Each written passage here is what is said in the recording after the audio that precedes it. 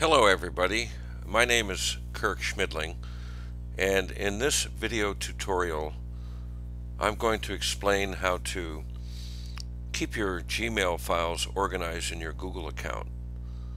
We've all received emails where we look back in time and we just can't find them or it takes us 20 to 30 minutes to find them, maybe one that's six or seven months old but there's a way you can keep your Gmail account, your inbox organized, and it's very easy to do. So the first thing you want to do is come over and open up your Google Gmail account. And the first thing you want to do is check the left-hand corridor and make sure you have a spam folder listed. If you do not, the very first thing you need to do is come over here to this little gear and you want to click that. And you want to come down to where it says settings. Left click settings. And that will open up your labels your settings file but you want to click on labels. Left click labels. Then you want to follow me down to where it says spam. And make sure that spam shows that it says show in black letters here. If it says hide over here on the left hand side, you need to click it so that it says show in this position right here.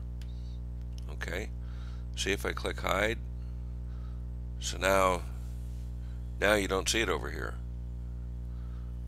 But if you click show, now you do see it. So you want to make sure that shows up.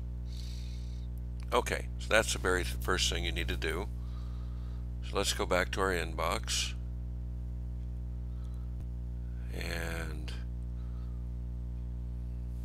we're going to just pick an email from well let's let's say from Pandora. Okay let's say I want to keep all my emails that ever came to me from Pandora organized. Here's how you do it. You left click and open it. Then you come up here and between these two arrows you want to highlight and copy this part of your email. Right click this and copy. Left click and then come over here to this little arrow here this little down arrow. You want to left click this and scroll down to where it says filter messages like this and left click this. Okay, and this opens up another box. You want to come over here and click where it says create filter with this search. Left click. Now, the very first thing you want to do is come over here and make sure you click this box. Never send it to spam. And left click that little box there. Next step, you come up here to where it says apply the label. Left click that, check that little box. And now we're going to name these emails. So click this and where it says new label, you want to left click that. And we're going to create a label. So I know that these emails came from Pandora. So that's what I'm going to name it.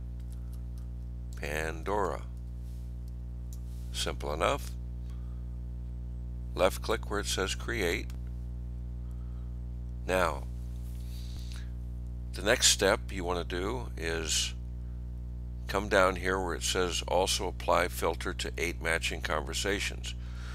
It may not say anything here, but you always, always click this little box here. So left click that. Okay, so we're almost ready to create our filter. But first, you have an option. You can keep your emails showing up in your inbox in this central region, or you can choose to have your emails only show up over here and keep them out of the main section. Here's how you would do that. If you want them to only be on the left-hand corridor, you would click this little box here where it says skip the inbox. But I don't want to do that. So, because I like to see the new emails that come in uh, in real time. So I'm going to click this filter, create filter, left click, and there it shows all the Pandoras listed and then it goes back to the, the, the main email that I just opened. So if you want to find those emails, you simply come over here to the left hand corridor and scroll down to the new label that you just created, which is was in my case Pandora. And so I left click to open that and there you have it. They're all there for me. So you can do that with any email you get. Very simple to do. Keeps your Gmail inbox completely organized. It's a handy little um, tip. So thank you for watching and have a great day.